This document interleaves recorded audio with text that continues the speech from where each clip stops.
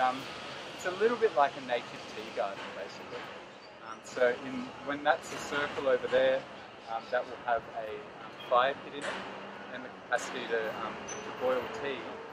Um, and I've selected a lot of plants that are used in bush teas. Aboriginal people have used them for a long time, and they're easy to find now, which is, which is nice. And then aside from that, just really strongly scented trees, eucalypt here.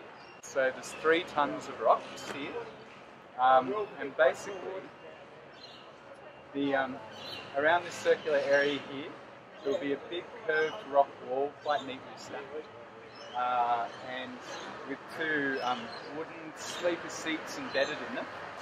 And then that will actually taper off, and it will fall into a dry creek bed after that. Yeah.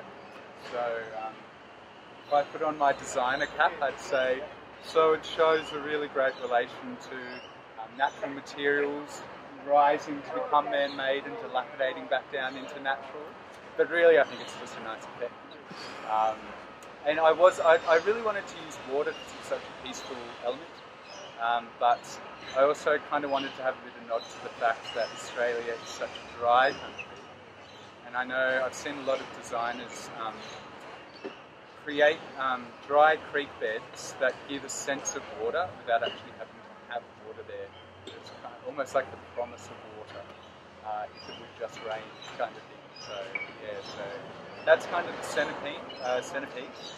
And then um, lots of plants in all the gaps all around to soften the edges a lot.